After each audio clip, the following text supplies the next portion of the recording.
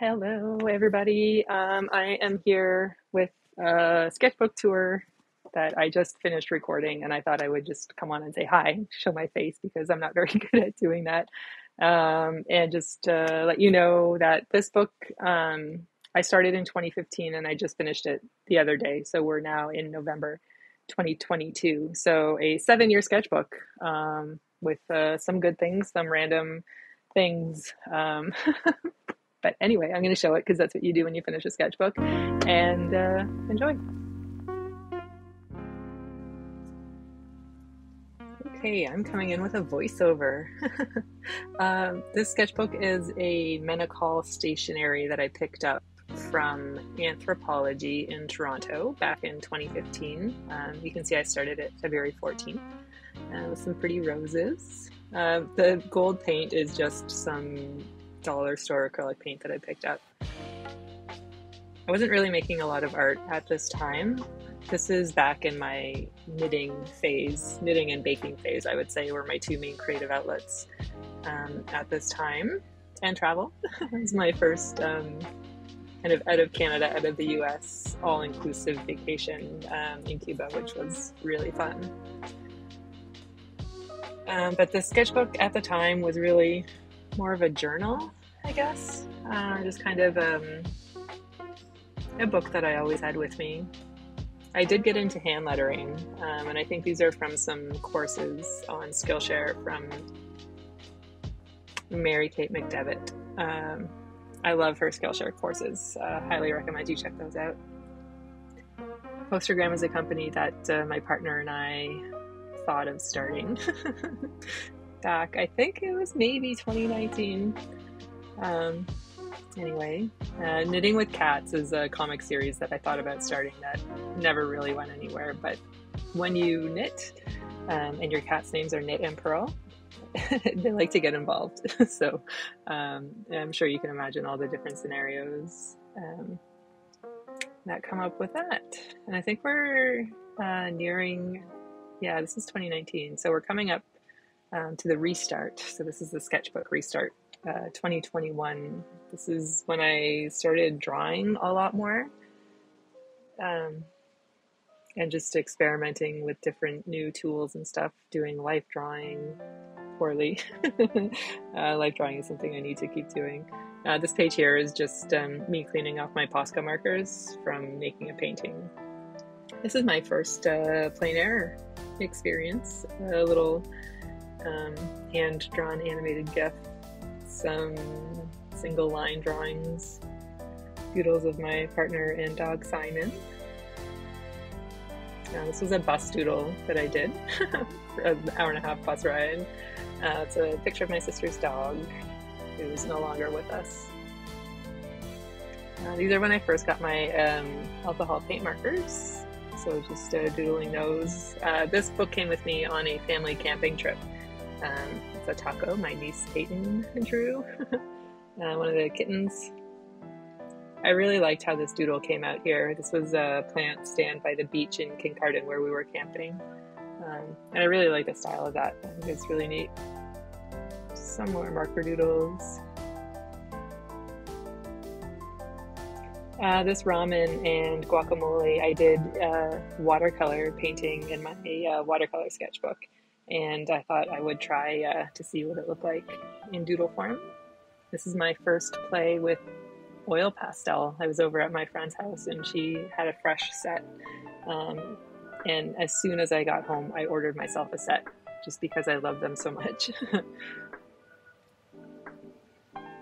and playing with a glass tip pen. Was a um, template that I made for uh, painting that I did on our Saturday night art disco stream. You'll see a couple of those foldouts in here. Uh, this is my grandma and grandpa's house um, that they built way back, way back when. Uh, yeah, these are more art disco uh, foldouts, color studies, some doodles. I don't know what that is. Uh, I think these are on location drawings too from when we were camping in uh, Owen Sound. As a, a nod to Furry Little Peach there, that flower in the middle. Uh, these are plein air as well. Uh, Duchesnay Falls up at Callander, uh, Callander Bay, Ontario. These pens are from a Domestika course that I took from, I can't remember his name, but I'll pop it up here for you. that black scribble there, that pencil scribble, was a portrait of me from my niece Autumn. uh, and that's a true story right there with my bad posture when I draw. Some art prompts from Sophie McPike's Patreon. This is really just like um I like to think of this just as like an everything kind of nothing sketchbook, like a play sketchbook. I think Fran um, Fran Nerd would call it an ugly sketchbook, like just somewhere, no pressure, um, place just to have fun. These are prompts that we did at an art disco. My friend um, was over, and I had just different prompts on pieces of paper, and we would just pick two out of a hat and put them together. Oh, my root canal comic book.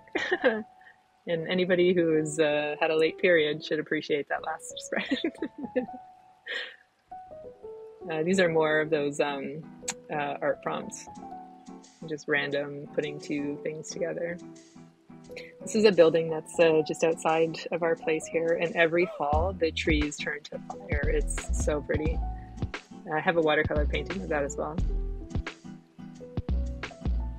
This is from another Skillshare, or not Skillshare, Domestika course that I took. And it's a different one, so I'll pop up um, the name of the course. Really good, but I don't remember what it was called. Same course, I think. Now some doodles from the Instagram account 60s Wonderland. Single line drawings um, kind of become a go-to for me when I don't know what to draw. I'll just uh, pick up my pen and draw what's in front of me. So it's usually if I'm just chilling out on the couch, um, the record player and shelf and stuff. And of course, uh, this is my cat Knit who is coming to say hi. I just thought I would keep going because she's cute. Uh, these doodles here are me trying to come up with a character design for uh, a story I was working on um, to celebrate my aunt. And those bird doodles, um, bird drawings, were ink drawings that I then turned into what you just saw there um, some digital illustration. Serge Ibaka, basketball player who was on the Toronto Raptors and is no longer. Uh, this is my first big commission piece that I got back. Uh, I think it was February or March that I did that, um, and I'm really happy with the way that they that came out. And I did another one similar to that um, for my partner for his birthday that hangs above our couch now, of uh, the hip hop artist MF Doom. Maybe I should pop that in. Some still lifes.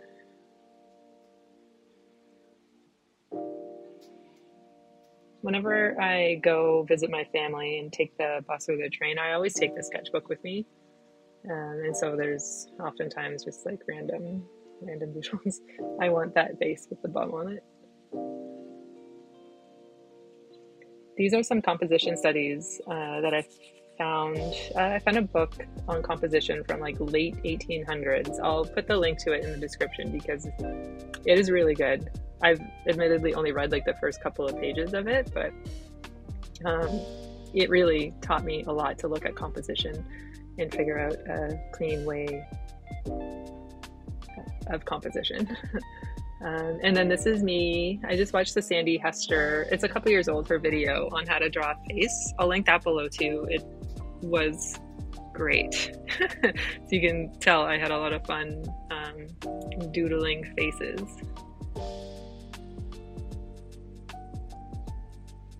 Should do more of them, they're really fun. Again, with the single line drawings. Uh, that was me watching a Skillshare class from Mr. Tom Froese on um, illustration, illustration business. These are some um, color color studies. Is that what you would call them? Of um, a group of seven, some group of seven paintings. I got an art book uh, when I went to the Art Gallery of Ontario, um, and have just fallen in love with all of their paintings. Here's a, here's a few more, um, along with some MapCrunch doodles. Uh, that's my Uncle Henry's garden. Um, but you can tell I've found a color palette that is uh, is really working for me, and I think we're going on six months since that time, and uh, I'm still in love with those colors and have been using them almost exclusively, uh, especially in my sketchbooks. And we're coming to the end. Um, I think this is like the last, call it real. Well, this is the last real spread. Um, okay, maybe that um, I'm going to be sad that the sketchbook is over, but uh, I'm going to come back with a little closing message and yeah, hope you enjoyed.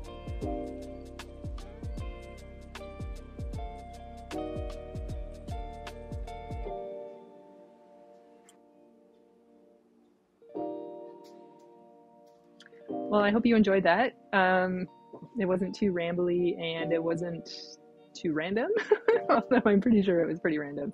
Um, I know it was pretty random because I'm coming uh, back after after filming. Um, but I just wanted to come on and say a big thank you to my little um, baby patrons. um, not that they're babies, but my Patreon is a baby. Um, and I just want to thank everybody who is there, all four of you, hopefully more soon. Um, I have three months, almost four months worth of content on there. So I do weekly updates, um, art updates. So I talk about everything that I make that week with uh, little behind the scenes stories and stuff. And then I share the fun, interesting links and things that I stumble across um, that week. So lots of YouTube videos that I share because that's what I consume a lot of. Um, and then once a month, I do an art recap video. So I show all of the art that I've made. Um, and not all of it gets shown like elsewhere. So it's a little sneaky, sneaky sometimes. Um, and just like general art chats and stuff. Uh, any new art supplies that come into my life. Um, yeah, things like that. Um, plus, like, you know, random things thrown in here and there. But for a limited time until um, my Patreon grows a little bit more, I have it set to $1 Canadian per month. So it is not a lot of money to support me. Um, if you like what I do, I would appreciate if you check it out. Uh, no pressure to stay, um, but I think you'll like it. And thank you, uh, patrons, for your support. Love you guys. Uh, thank you for watching this video. I hope it was uh, interesting. If you have a sketchbook laying around that you've had for a long time, pick it up. Pick it up, use it. Um, I'm kind of sad that this one is done, to be honest with you. Uh, it has been with me for seven years of my life, so in and out, but um, it was a good one. But I am on tomorrow. I have like six on the go right now, so I am not short of sketchbooks. Anyway, that's enough. I will see you later. Bye.